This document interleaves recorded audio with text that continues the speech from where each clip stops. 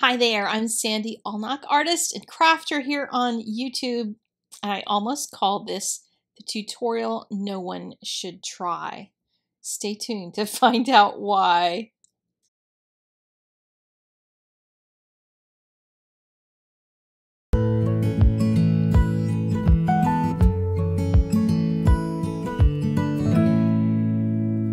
Sometimes there's just ideas that go wrong, but I'm going to show it to you anyway.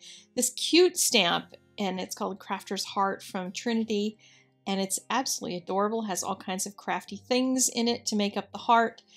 However, it I wanted to color it with my Copics, and there's no Copic markers in the drawing. So I decided to try something a little different. It, it's really small for watercoloring, all these little tiny shapes. I considered colored pencil, but I felt like doing something a little unique. And I got out a really crappy brush and this little dish that I put a red, yellow, and blue from my Copic reinkers in. And I tried to pick something that looked like a cool color for each one of those. You know, if you've taken my Copic Jumpstart class, you'll know the challenge of figuring that out. But nonetheless, I just thought I'd try mixing some colors out of three of these and just use my little dish to do that. And I know, of course, that I can take some red and mix it with yellow to create a warm yellow or an orangey color to make shadows. And then each one of them around this little wheel, I can mix colors in between them. So I can take some yellow and mix it with the blue in order to make a green, etc. throughout the whole little color wheel.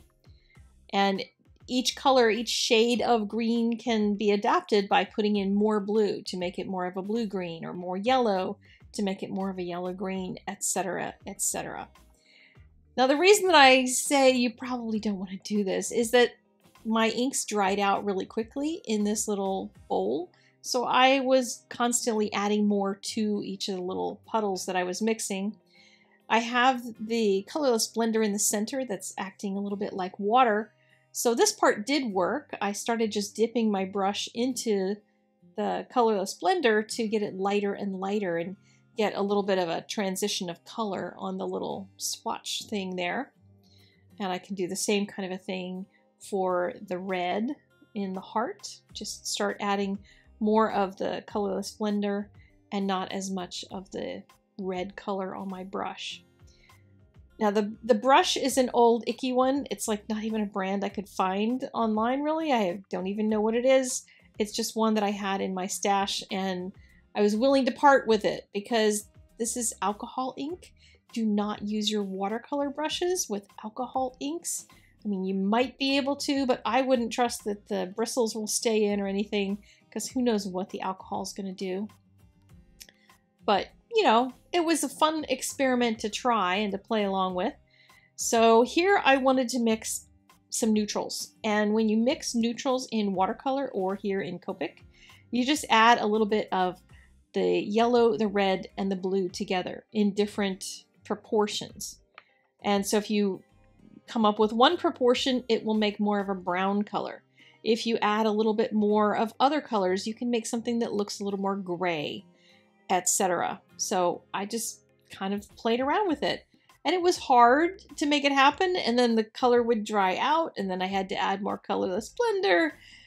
And I think this was a really expensive way to paint this stamp, like really ridiculous. However, one of the reasons that I did it on watercolor paper is because I tried it first on just regular Neenah and it bled like crazy because I was using all this colorless blender and it was really wet. And you know how markers tend to want to bleed? This totally wanted to bleed. So there you go. If you're trying to paint into something like that, this won't work. I've done some other videos in the past doing like watercolor technique type stuff with Copic reinkers, but those were more of like, let's get a splashy background going as opposed to let's paint in tiny images. So that's just a totally different way of thinking than trying to create colors that I can do little tiny things with. I did find I could mix a really dark color by mixing my blue and my red really thickly, not a whole lot of colorless blender, so I could make something that simulated black caps on the little paint bottles and that sort of thing, and then put more blender in it to make it a gray to paint some other things. But yeah, this is probably not a technique you'll use. You might want the stamp, so I decided I would show this to you anyway. The sentiments in it are really sweet. I stamped this one and then cut it out and made banner edges out of it. I have dimensional adhesive under two sides of it, so it just kind of wraps across there. And then I added glossy accents onto all the little bits and pieces. I did fussy cut out the heart, and since it was fussy cut out like imperfectly, because I'm not a perfect fussy cutter, I put it on a watercolor paper base so that it matches the base and then you don't really notice too much if I've got a little wobbly edges. But the glossy accents, I think, totally made the card. I think that worked really well. After my craziness of trying to paint this with reinkers, you could probably already also try this with maybe some alcohol inks. I don't know if, if that would work any better. You could try it and see. I would probably get out pencils to color this one. Because Copic markers, yeah, there's no Copic in the picture, so you got to use something else, right? I don't know if that's a rule or not. Anyway, leave a comment in the doobly-doo. Tell me if you think you'd ever try this, or if I was just being really silly, and I'll see you again soon.